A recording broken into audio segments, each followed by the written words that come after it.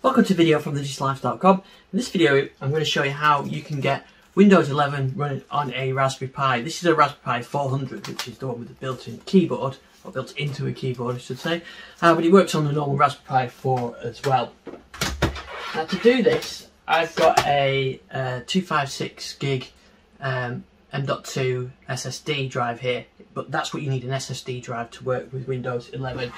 You can use the micro SSD card type ones, but I found the performance was really slow and, and not really usable. Whereas this, uh, this will work fine. The only other thing I found is because of the position of the USB drives, if there, if I stick my little SD in there, it actually blocks the ports. So I've got a little USB extender cable, uh, which I plug into there, plug into the Pi like that, and then this can tuck neatly away. I could probably come up with some kind of case solution for it, but I, for now I just want to show you how you get Ras Windows uh, 11 working on this Raspberry Pi. So the first step is you need a ISO of Windows 11.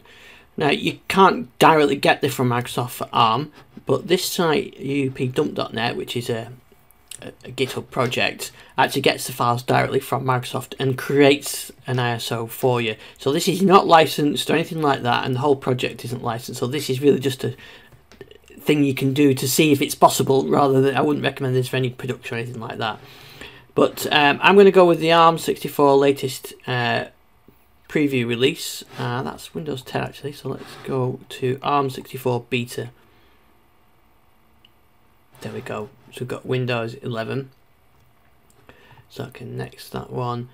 Uh, I just want the Pro version. And you can get it to automatically include the updates uh, in this. It takes a bit longer when you do it that way. Uh, but it means you've got a fully updated uh, Raspberry Pi rather than having to do go into Windows updates. For time's sake, I'm going to skip this for now, but I would normally do that. So create a package, and it creates you a little uh, download uh, which I'll stick in my downloads folder. And then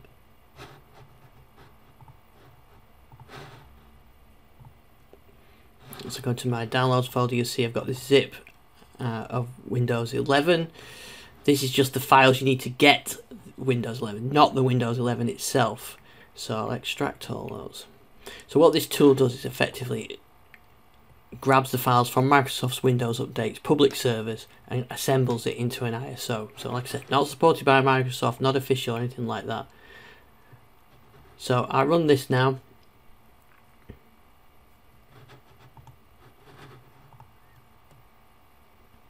So this is going to start uh, assembling that ISO file, which we're going to need in the second half of the process where we use the deployment tool. So uh, I'll wait for this to finish and we'll get the um, ISO and then we'll resume and we'll start with the deployment tool.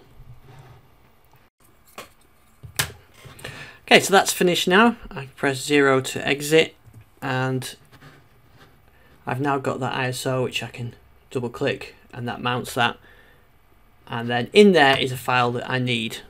So now I need uh, to use the deployment tool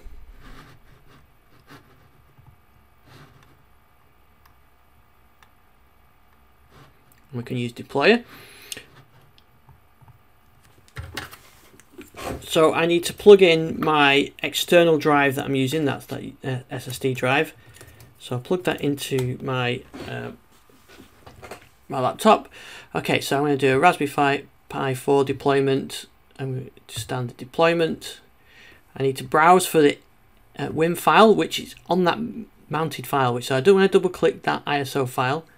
It mounted a drive.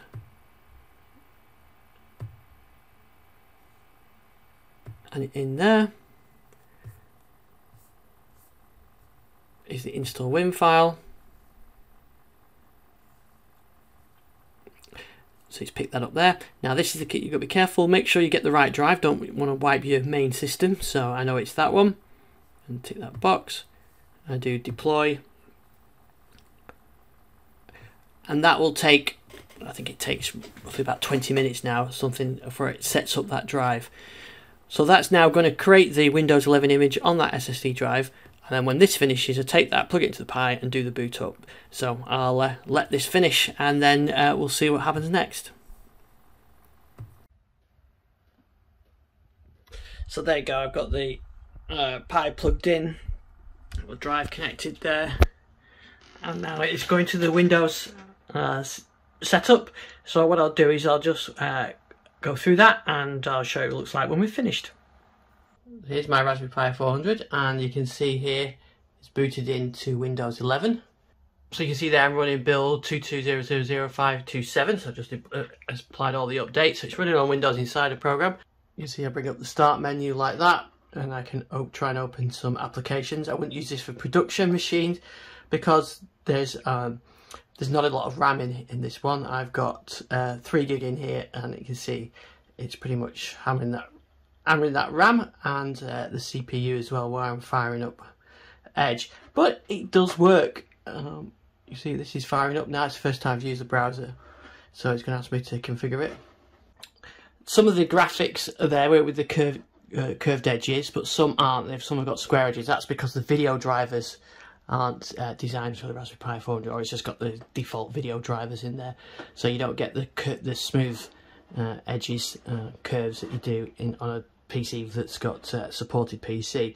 But you can see all the apps are in there. Um, some things works better than others. You can see some things that are running with um,